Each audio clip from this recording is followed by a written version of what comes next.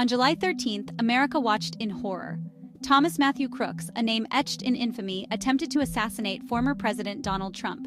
The scene was chaotic. Butler, Pennsylvania was supposed to be a rally, a sea of red hats and roaring applause. Instead, gunshots rang out. The Secret Service reacted swiftly, a blur of motion protecting the former president. Crooks, perched on a rooftop, fired into the crowd. His target, Donald Trump. He didn't succeed. The Secret Service took him down. The nation held its breath. Was this the beginning of something bigger? A conspiracy? The questions were endless, the answers elusive. This was more than an attempt on one man's life. It was an attack on democracy itself. The investigation began immediately, a race against time to uncover the truth behind the chaos. The attempted assassination sent shockwaves through the country. The FBI took the lead, their top priority determine if Crooks acted alone. Who was this man? What drove him to such a desperate act? Agents descended upon Crooks' life. They searched his home, a nondescript house in western Pennsylvania. Inside, a chilling discovery, an arsenal of weapons, guns, ammunition, even explosives. This was not the work of an impulsive amateur. The investigation took a controversial turn. Congressman Clay Higgins, a member of the task force investigating the incident, dropped a bombshell. The FBI, he alleged, had released Crooks's body for cremation without proper authorization. This was a breach of protocol, a potential obstruction of justice. Why the rush to cremate? What secrets did Crooks' body hold? The congressman demanded answers.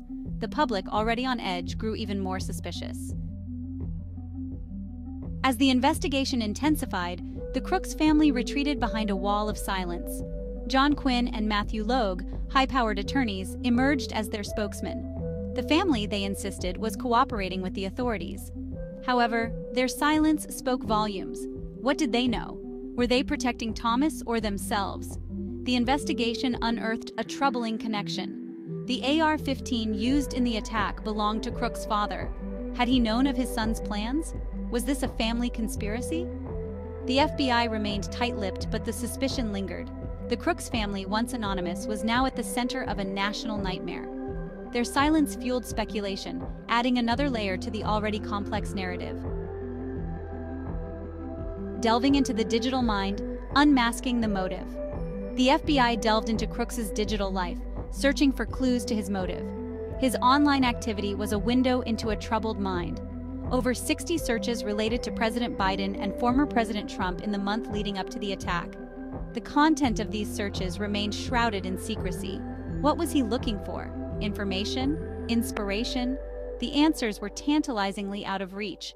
Crooks, it seemed, was drawn to the dark corners of the internet. Conspiracy theories, extremist forums, sites filled with hate and vitriol. Had he been radicalized online?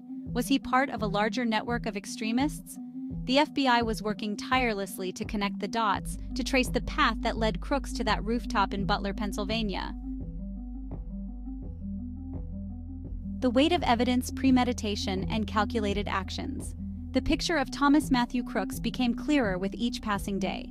This was not the act of a lone wolf driven by a sudden burst of rage. This was premeditated, calculated, and cold blooded. Crooks had registered for the Trump rally weeks in advance. He had researched the venue, the security measures, the layout of the crowd. This was not a man driven by impulse. This was a man on a mission. On the day of the rally, Crooks flew a drone near the venue. A test run? A way to assess security vulnerabilities? The level of planning was chilling. He was then seen climbing rooftops, scoping out the perfect vantage point. This was not random. This was an assassination attempt in the making.